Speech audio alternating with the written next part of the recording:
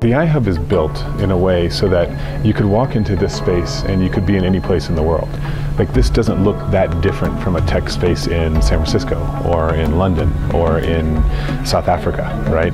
So it's it's it's made to have that international feel. It's not just a techie space. There is a space for creatives, and not just creatives in terms of the tech world, but creatives in terms of how we think and just being thought leaders, even in the tech world. Out of the iHub, AkiraChix was born and AkiraChix in the last two years we've been able to do to achieve a lot of things.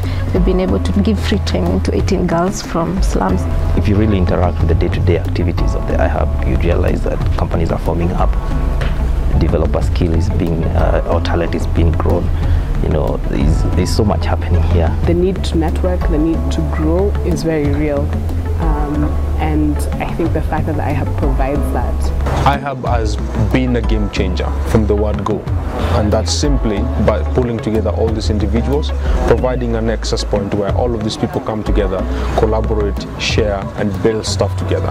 This is a tech space, but that doesn't mean that we don't want people from other industries and other sectors in here. Come in, talk with the guys. It was a bare space, it was a physical nexus point, but what brought life to it is the community. It's a good start. I mean, we never had something like that before.